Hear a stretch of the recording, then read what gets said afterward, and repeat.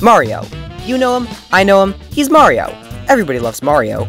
But sometimes he does stupid stuff, like fighting this guy, or this guy, or even that guy. And then he started not being stupid, but now he's in danger of going back. And I don't like it, so I've decided to complain on the internet. I have a Patreon. With the release of 3D All-Stars, I've been playing a lot of Mario games.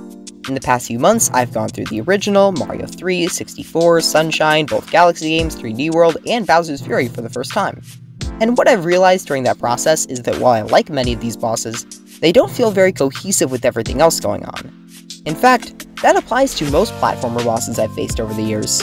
After all those bad experiences, the desire to put boss fights in platformers began to strike me as misplaced. In an action game, you spend most of your time engaging with the combat, so a boss fight serves as a climactic test of everything you've learned up to that point. You have to be good enough at figuring out how to respond to the enemy's attack patterns and executing on those plans. In a platformer, the main thing you're doing is, well, platforming. Metroidvanias are often considered a subgenre of 2D platformers, but many of them use platforming as one of their minor focuses, so I definitely wouldn't categorically build them that way. When I say platformer, I mean a game that centers around using your character's movement abilities to get from point A to point B in interesting ways, typically with lots of jumping, although not always. Even if you can manage to create an interesting fight around a moveset that isn't designed for combat, it fundamentally can't provide the same type of test of skills in an action game, since the boss fights and the rest of the game are asking you to do two different things. At best, this makes them feel out of place, but at worst, it can make encounters on the difficult side feel more frustrating than fair since you're not used to dealing with them.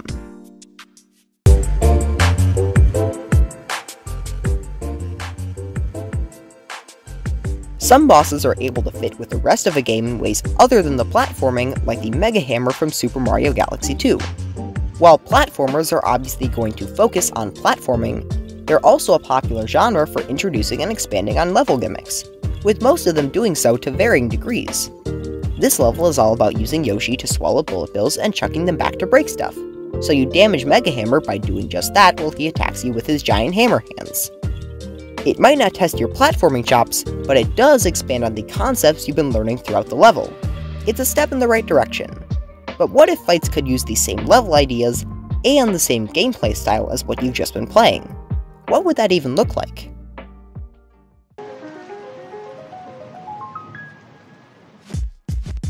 When bringing elements from one game or genre to another, it's best not to just directly translate them, but figure out what they achieve and try to replicate that. For platformers, this can mean creating an encounter with a foe that you're still fighting against, but you have to actually platform in order to defeat them, whereas in an action game, you'd have to deal enough damage to kill the boss without dying yourself. This takes the purpose of a boss fight, a climactic test of your skills thus far, and adapts it to suit platforming. Even the Mario series seem to have learned this lesson. From the original Super Mario Bros. to Galaxy, all of the final Bowser fights were run-of-the-mill platformer bosses.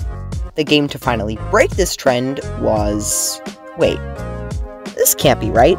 New Super Mario Bros. Wii. Really? A new Super Mario Bros. game actually innovated at something. This is amazing! I finally figured out why four of these games exist!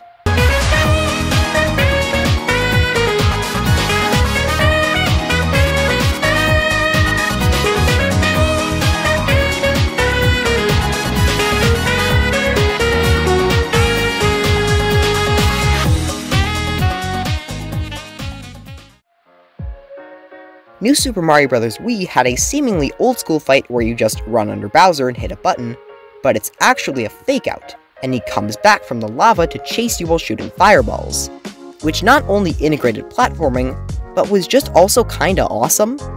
From this point on, it seemed like the series had figured this stuff out, at least when it came to the endgame fights.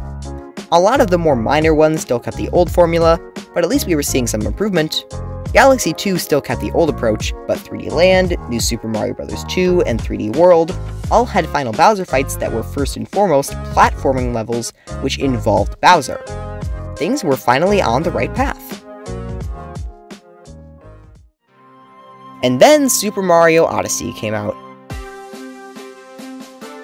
New Super Mario Bros. U had regressed in this regard as well, but that didn't seem like a very high priority title for Nintendo, so I didn't put much stock in that. But this was different. The final fight under the wedding chapel has two phases.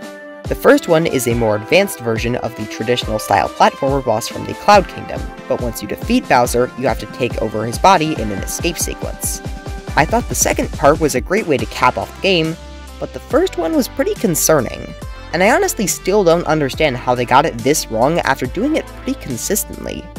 The only thing I can think of is that they needed a reason for Bowser to be weakened enough so you can capture him, but considering that Nintendo is known for prioritizing gameplay over all else, I seriously doubt it.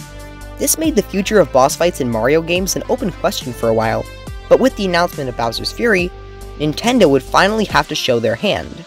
What was the future of the Super Mario boss fight?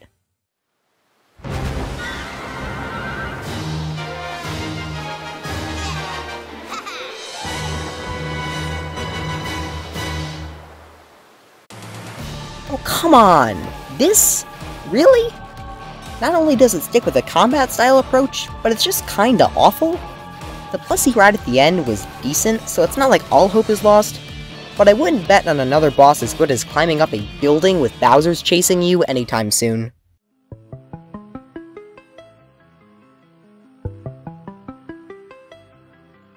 While I was in the thick of all those Mario games, I took a bit of a detour to replay Celeste and something kind of interesting happened.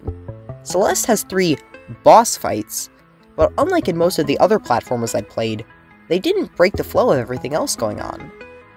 At the end of Chapter 2, you're first introduced to Badeline, a reflection of Madeline's anxiety, who chases you and even starts duplicating herself. To close out the next chapter, Mr. Oshiro, the owner of the hotel you've been exploring, gets mad at you for trying to leave and turns into a giant floating head who zooms at you every few seconds. The next two chapters don't have any boss fights, but chapter 6 opens with Madeline dreaming, where she talks to Badeline about before falling into a crystal cave. After exploring the cave for a bit, a bunch of Badeline's hair starts leading you along. Once you eventually reach her, as one might expect, a peace is not able to be reached and the two start fighting.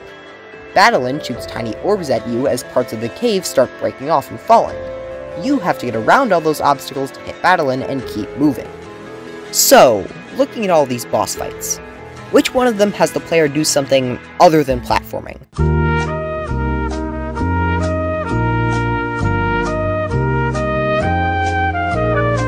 Don't worry, I'll wait.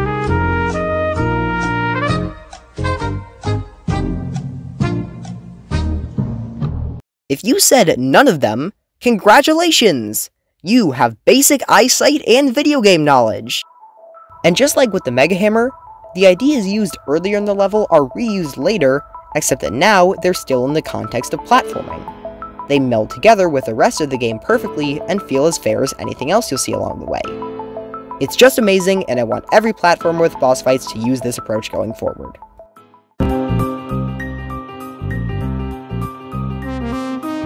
So, what did we learn today?